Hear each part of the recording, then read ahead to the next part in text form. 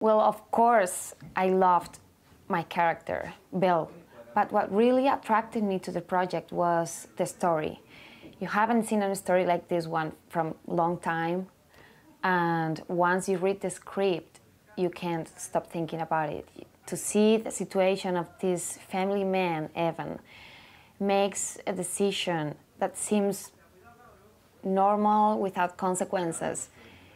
And that decision leads these two girls getting to his house because outside is raining and cold change his life drastically.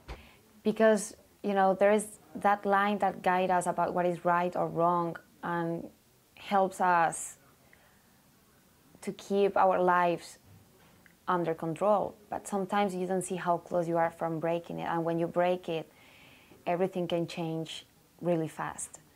And this premise is really strong. And another amazing thing that I found in the script is the fact that all the characters think they are victims. So each one of them have reasonable grounds to justify their actions. So for an actress, this conflict is a gift.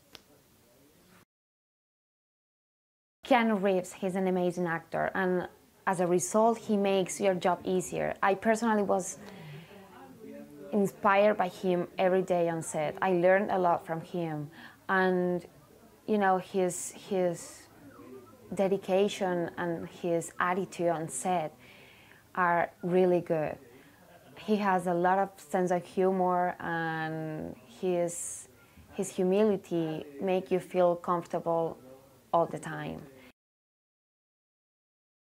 I think he has had a lot of patience with Lorenza and me because we are less experienced actresses. And he was great. And I think he, he is the best for this character. And I think the people will be very surprised when they see him doing this movie.